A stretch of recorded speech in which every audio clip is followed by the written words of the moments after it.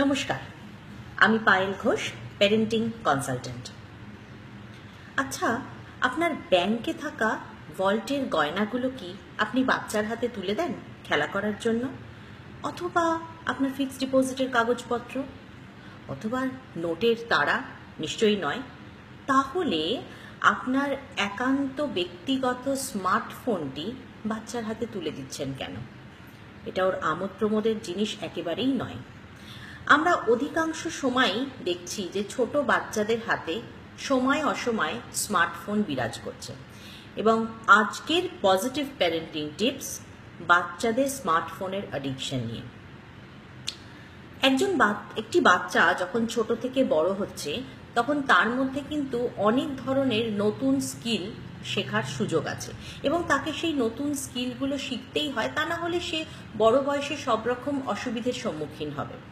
কিন্তু এই স্কিলগুলো শেখার জন্য যেটা খুবই প্রয়োজন, সেটা হলো তার কমিউনিকেশন স্কিল তার কনসেন্ট্রেশন এবং তার কগনিটিভ এই তিনটে জিনিসের ভীষণ রকম প্রয়োজন বাচ্চাকে সুস্থ, স্বাভাবিকভাবে বড় করার জন্য। কিন্তু বাচ্চা যদি স্মার্টফোনের অ্যাডিকশানে ছোট থেকেই পড়ে যায়, তাহলে এই তিনটে স্কিলই তার পক্ষে নেওয়া সম্ভব হবে না। কেন আমি একটু আপনাদের বিশদে বলছি? প্রথমে আসি কমিউনিকেশন স্কিল নিয়ে। আপনার বাচ্চা যদি ছোট থেকেই স্মার্টফোনে অ্যাডিক্টেড হয়, ছোট থেকেই ফোনের সাথে ভিডিও বা খেলাধুলো, বা অনলাইন গেমসের সাথে আকৃষ্ট হয়, তাহলে দেখুন তার কমিউনিকেশনটা কিন্তু হচ্ছে ওয়ান ওয়ে কমিউনিকেশন অর্থাৎ সে শুধুমাত্র নিজে কথা বলছে স্মার্টফোনের সাথে, কিন্তু অপর দিক থেকে কোনো কমিউনিকেশন আসছে না। তার ফলে দেখা যাচ্ছে ছোট থেকে যেসব বাচ্চারা অতিরিক্ত স্মার্টফোন ইউজ করছে, তাদের মধ্যে কথা বলার প্রবণতা কমে যাচ্ছে। শুধু তাই নয়, তাদের মধ্যে একটা বড় সমস্যা দেখা যাচ্ছে, সেটা হলো আই কন্ট্যাক্ট অর্থাৎ চোখের দিকে চোখ রেখে কথা বলা। এবং তার ফলে অ্যাসার্টিভ কমিউনিকেশন কোনো বাচ্চাই আর বেশিরভাগ যারা স্মার্টফোন ইউজার তারা করতে পারছে না। এটা কিন্তু একটা সাংঘাতিক জিনিস, কারণ বড় বয়সে এই নিয়ে অনেক ধরনের সমস্যায় তাদের পড়তে হয়। দ্বিতীয়ত, তারা কনসেন্ট্রেট করতে পারছে না কোনো কিছুতে। সবসময় তাদের মন উসকুস করছে কখন সে স্মার্টফোনটি নিয়ে খেলাধুলো করবে। কখন সে তাতে ভিডিও দেখবে, তার জন্য কান্না, কাটি, জেদ ট্যান্ট্রাম সব রকম কিছু পড়ে যাচ্ছে। তৃতীয়ত হলো কগনিশন মনে রাখার ক্ষমতা। কগনিটিভ স্কিল বাড়ানোর জন্য বিভিন্ন ধরনের খেলাধুলো করতে হয় বাচ্চাকে। সেটা ইনডোর হোক বা আউটডোর হোক। কিন্তু ক্রমাগত বাচ্চা যদি স্মার্টফোনে ভিডিও দেখে, অনেক সময় মা বাবারা দাবি করেন এডুকেশনাল ভিডিও দেখেন, কিন্তু এডুকেশনাল ভিডিও দেখানোর অন্যরকম পন্থা আছে। সেটা স্মার্টফোনের থ্রু দিয়ে নাই বা হলো। কগনিটিভ স্কিল কিন্তু তাতে কোনো রকমভাবেই উন্নত হয় না।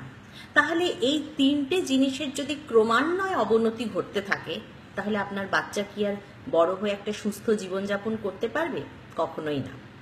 আরও আর একটা সমস্যা, যেটা হয়তো আপনারা অনেকেই জানেন না, ক্রমাগত স্মার্টফোন ইউজের ফলে আমাদের মস্তিষ্ক থেকে ডোপামিন নামে একটা নিউরো ট্রান্সমিটারের ক্ষরণ হয়। এই ডোপামিন কিন্তু সাংঘাতিক, কারণ এই ডোপামিনের ফলে আমাদের বিভিন্ন রকম অ্যানালিটিক্যাল এবং অ্যাক্টিভিটি স্কিল নষ্ট হয়ে যায়। আমাদের একটা অলসতা চলে আসে এবং দেখবেন লক্ষ্য করে অধিকাংশ বাচ্চা যারা স্মার্টফোনে বেশি মাত্রায় অ্যাডিক্টেড তাদের খেলতে যাওয়ার প্রবণতা বা ইচ্ছা সবটাই প্রায় বন্ধ হয়ে চলে, বন্ধ হয়ে যেতে বসেছে। সুতরাং মা বাবা হিসেবে তাহলে আপনার করণীয় কি? করণীয় হলো এই মুহূর্তে স্মার্টফোনের ব্যবহার বাচ্চার থেকে তুলে নিন।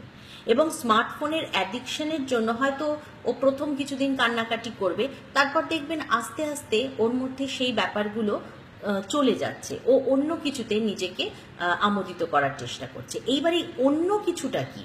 অন্য কিছুর জন্য মা বাবাদের অনেক চিন্তা ভাবনা করতে হবে। তাদের খাটাখাটনিও করতে হবে। সেক্ষেত্রে অনেক ধরনের অ্যাক্টিভিটি ফিজিক্যাল অ্যাক্টিভিটি মেন্টাল অ্যাক্টিভিটির সাথে বাচ্চাদের যুক্ত রাখুন। মানে ওর সপ্তাহের প্রতিটা দিনই যেন কিছু না কিছু আনন্দের, আনন্দময় অ্যাক্টিভিটির সাথে থাকে।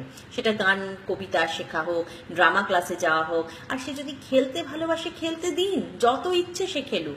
এবং সেক্ষেত্রে যদি আপনাকে কষ্ট করে সেই সব ফুটবল ক্যাম্প বা কোচিং ক্যাম্প বা ক্রিকেট ক্যাম্পে নিয়ে যেতে হয়, নিয়ে যান না।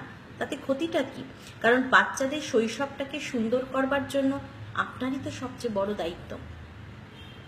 আপনার বাচ্চা সুস্থ থাকুক, সুন্দর থাকুন স্মার্টফোনের অ্যাডিকশন ছাড়া। তবে হ্যাঁ তার জন্য প্রয়োজন আপনাদের নিজেদেরও ওই অ্যাডিকশান থেকে বেরিয়ে আসা।